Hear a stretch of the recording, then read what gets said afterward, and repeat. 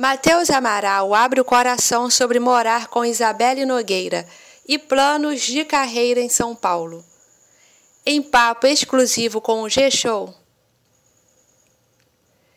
Ex-BBB que está de mudança com a namorada que conheceu no reality falou sobre novo momento cinco meses após o fim do programa. Mateus Amaral está vivendo uma nova fase em sua vida. Famoso por representar sua cidade natal, Alegrete, no Rio Grande do Sul, o gaúcho agora está morando em São Paulo. Mas a mudança veio acompanhada de muito romance, porque Mateus não está só. Ele e a também ex-BBB Isabelle Nogueira estão morando juntos na selva de pedra. O namoro, que começou aos olhos do público no BBB 24, se consolidou nos últimos cinco meses e agora os dois dividem o mesmo teto.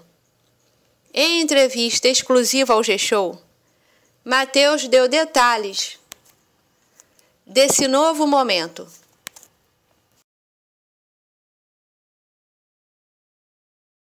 Está sendo um divisor de águas em nossas vidas. Está sendo um divisor de águas em nossas vidas. Confesso que dá um friozinho na barriga morar em São Paulo. Eu que sou acostumado com o interior, numa cidade bem pequena. E Isabelle também, que apesar de morar na capital, não tem a proporção de São Paulo.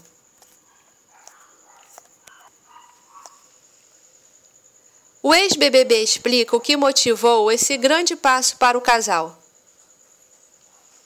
Foi uma ideia conjunta para estarmos juntos e vivermos todas as oportunidades que estão chegando para nós. É em São Paulo onde as coisas acontecem.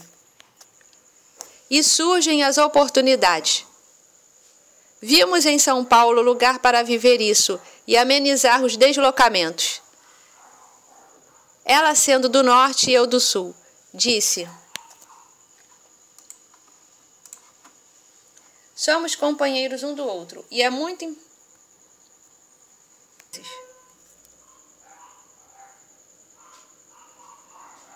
Somos companheiros um do outro e é muito importante a gente se ajudar e estarmos juntos para desenvolvermos os projetos.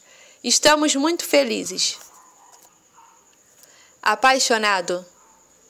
Mateus não poupa elogios a Cunhã Poranga, do boi garantido. Eu e Isabelle temos um relacionamento muito leve, graças a Deus. Somos muito parceiros um do outro. Um ponto positivo é a gente saber como funciona a nossa rotina. Por vezes ficamos distantes pelo trabalho mas estamos tendo maturidade suficiente para ajustarmos isso. Claro que a gente adora estar juntinho um do outro, mas tudo no seu tempo. O Alegres também comentou o novo momento profissional da Amada, que foi anunciada como musa da Grande Rio no Carnaval 2025 do Rio de Janeiro. Eu estou muito feliz com as conquistas dela. Agora vai desfilar no carnaval e estarei lá com ela e quem sabe desfilar junto também, disse. Mudança na rotina. Quase seis meses após o fim do reality. Mateus destaca as principais mudanças que o BBB 24 proporcionou. Acredito que o que mais mudou na minha vida foi minha rotina que era totalmente diferente. Tinha faculdade nas horas vagas. Tinha meu trabalho que eu fazia com meu padrasto na zona rural. E hoje em dia são horas em aeroportos, conhecendo vários lugares e recebendo o carinho das pessoas por onde eu passo. E isso é muito legal. Algo que eu jamais imaginei viver. Declaro jovem que também expõe os pontos negativos desse novo momento. A maior dificuldade é a exposição. Ter a vida exposta diariamente, com pouca privacidade, foi uma das coisas que me deixou um pouco assustado. Confesso que me deixa um pouco cansado.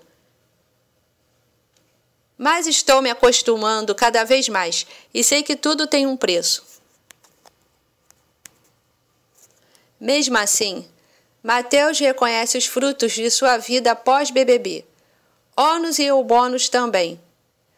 Sou muito grata a tudo que estou vivendo. Já consegui mudar a vida da minha família e estou muito feliz com a minha trajetória. Projetos profissionais.